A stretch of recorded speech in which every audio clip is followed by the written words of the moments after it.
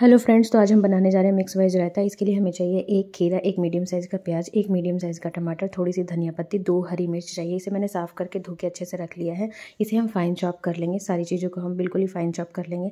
इसके साथ ही हमें पाँच सौ ग्राम के करीब दही चाहिए। इसे हम थोड़ा सा फेंट लेंगे और जितनी भी वेजेज़ मैंने चॉप की है, इसको एक एक करके सारी डाल देंगे हम।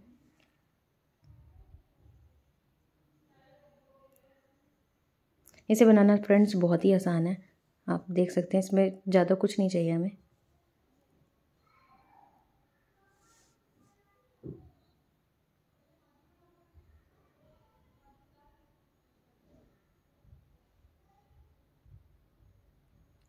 इसके साथ ही हमें कुछ मसाले चाहिए, जिसके लिए मैंने आधा चम्मच जीरा काली मिर्च लिया है, जिसे मैंने अच्छे से रोस्ट कर लिया था। उसके बाद उसको पाउडर बना के डाला है। उसके साथ ही आधा चम्मच काला नमक चाहिए। और साथ ही एक चम्मच के करीब हमें चाट मसाला भी चाहिए। यहाँ पे मेरा बेबी मेरी हेल्प करने के लिए आ गया है।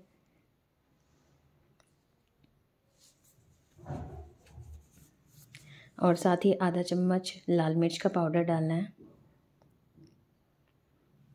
और आधा चम्मच सफ़ेद नमक भी डालना है। यहाँ यहाँ पे मेरा बेबी मेरी पूरी हेल्प करा के रहेगा आज।